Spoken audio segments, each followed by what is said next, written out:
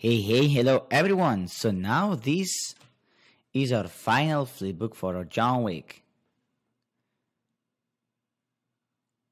We can see that the hair is moving in the way we want because it's kind of stiff, but it's not completely rigid,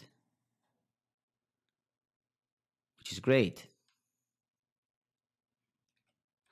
I just add um, a node called guide collide VDB because this is gonna push our hairs outside of the VDB. As you can see here, we had these gaps here in the John Wick hair. And if we activate this node and we increase this value, this surface offset, we will have this this this result of the hair like going up and going outside of the VDB. And that's all. So the next we should do is create uh, the materials and all the stuff. So first of all, I always start with environment light.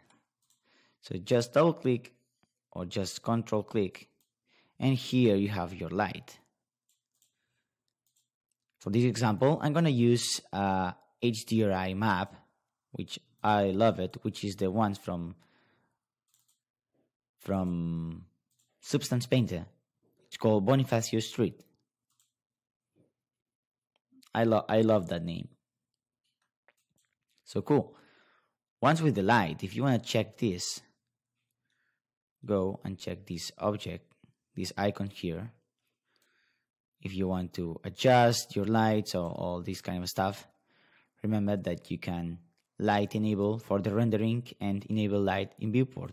So if I don't want to see the light in the viewport just hide this option. But I prefer to work like this without lights. Cool. So after this we're gonna create the material network which is like the material tab but everything is here in the sub context we go to material, here we have our stuff. Okay, so we can pick one shader or we can go to material palette, go to hair and transfer this hair into our mat. Should be here. Okay. I have a lot of hairs here. Okay, just pick the ones you want let me take this. And let's go outside. Let's go to material. And here paste your material. So this is gonna be like John Wick hair. Go. so cool stuff that we should know about this. The first that I'm always speaking about is the root and the tip color. As you can imagine, the root is for the low part of the hair and the tip is the top part of the hair. So I always, when I'm doing animals or or stuff that I have the maps, I always use the map here and I'm driving the color using the map. But in this case, we don't have any kind of map. So we are gonna create a, a black for the root and something less black for the hair. Something like that. Let me adjust it. This has to be like really really dark. And here you can control the amount of the of the blending between the, the root and the tip okay so if, for example, if you put this like red, and let's apply it into our John Wick. Yeah, let me try to. If you go to object, we have these materials, John Wick hair. Cool. So what I said is that if you have this John Wick and this could be green okay? This ramp allow us to control when we are gonna blend between the root and the tips okay? Let's revert to the false and let's change the color again to what we want. Something like that. It's cool and this is the white hairs that we just created here. These are the white hairs which is kind of cool because we are using this information for this parameter. And I usually leave it as white but not completely white. Okay some more parameters to keep in mind is the intensity and the reflection size. Usually these two are quite high and we have to decrease it. And the last one is the secondary reflections which is again controls the secondary bounces of the lights. And here we have the same. We have the root color and tip color. So we can readjust the secondary refraction for these two parts. And another cool stuff I always touch is the opacity. So the opacity this is for the root and this is for the tips. So if we take this the tip and we decrease it like in a dark darkest color so the tip is going to be like more transparent okay? Something that we are going to adjust later because we need to do renders to to see these changes. Cool. And remember that once we are doing rendering maybe we, we will should we will need to adjust these values and these ramps okay? So let's go to render view. If you don't have this just hit the plus and go to view to, to, to, to, to render view mantra rendering render view okay? And here we're going to create a ROP network which is the same if we go into the ROP tab to into the out tab. But I prefer again to have everything in sub. So here I'm going to create a mantra. This is going to be the rendering part. Is going to be PBR, physical based rendering, which is like how Arnold works. And I'm going to increase this a little bit. Okay. So again, I'm not to uh, spend a lot of time doing the shading, but I have a material network here where I import the textures for the shirt and the textures for the pants okay but I'm gonna leave you these these maps in the in the course so you can just import it okay let's do a quick render and let's see what we have. Select mantra pbr let's let's change the name to this could be um low rendering. And we can create another one for high. Like it's like a take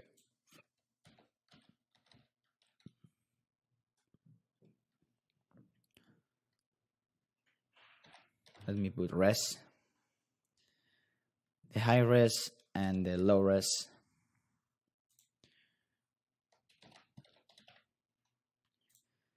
And is gonna be rendering. Cool. So here we're gonna create we're gonna pick first the low res with the camera one and let's hit render and see let's see what we have I like to turn off the progressional rendering.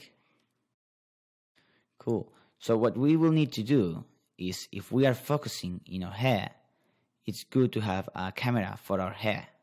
So we're gonna go out and we're gonna go to the scene view.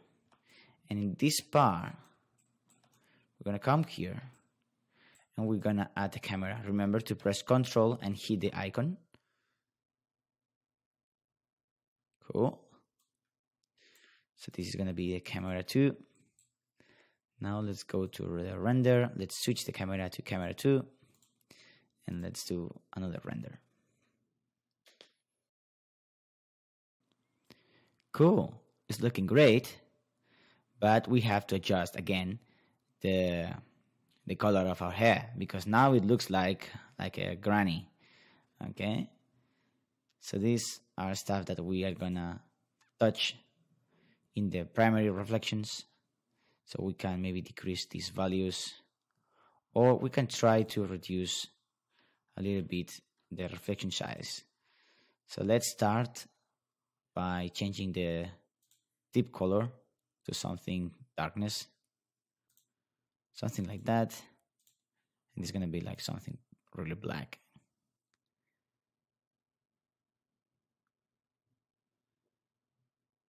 something like this let's hit the refresh tool here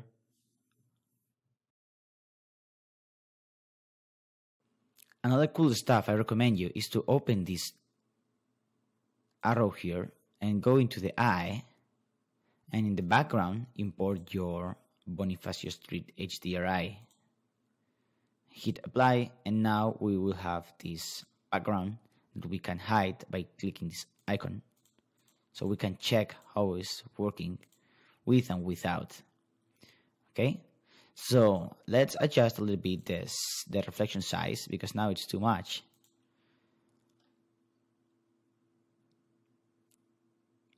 Let's see what we have.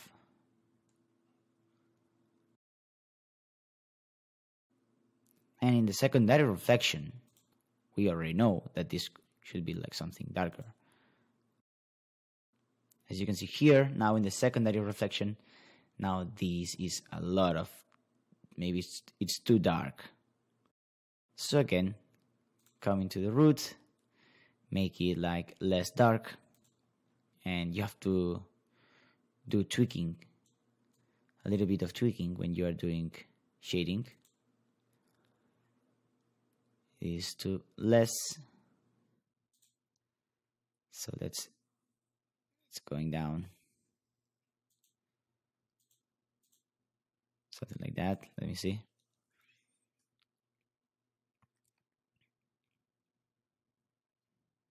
Okay it's getting better. Let me increase again the intensity. Sorry the reflection size. And always you can remember to do snapshots to then compare the result.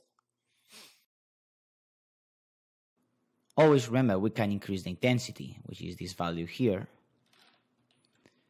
We can open, increase it to this. And remember that we have the intensity of the light, which is a, a parameter that it could be great in terms of lighting So we can go here, we can go to the light, we can go to our HDRI and increase the light exposure just a little bit. Let me adjust to 3. And the sampling quality, if we want to reduce the noise, it's good to increase this value just a little bit. Maybe we can add to 3. Great.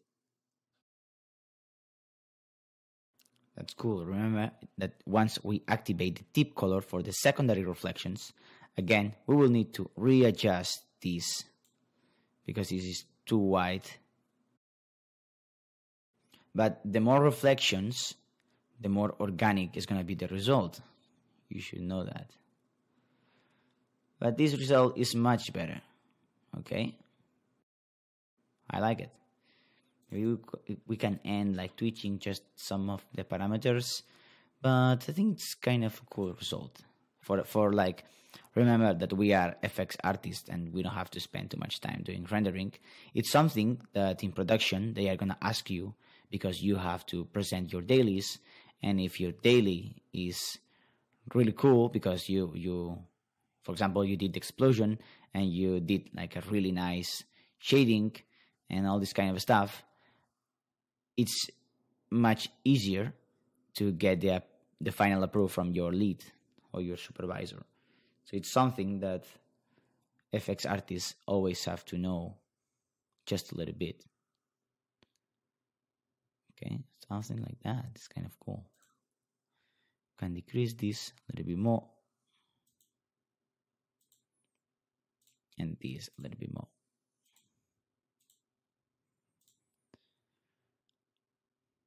Hit refresh. And remember that we are not working in this in this in this close up. So we're gonna work in further. So if we can see any stuff that you don't like at all, so don't worry because we always have to check with the final render and with the final camera.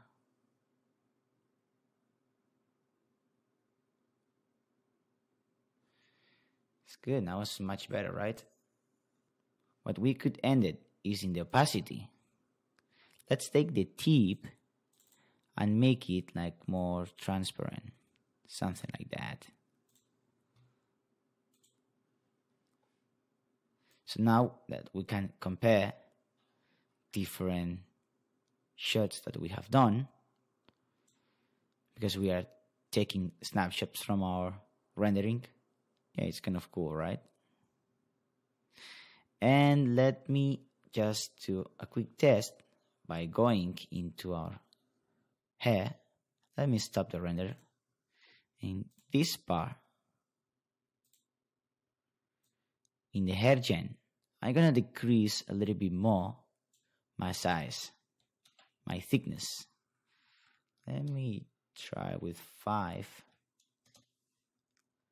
Let's do a snapshot and let's hit render and let's see what we have. And once I'm touching the thickness, the final thickness adjustments, I like to create a note, a sticky note, and write down the thickness. So all thickness was something like 0 0.00074 because it wasn't bad at all and it's good to write it down. They think that with this is much better. It's much better. I, I, I prefer. So cool. Let's leave the session here and let's continue in the next one. See ya.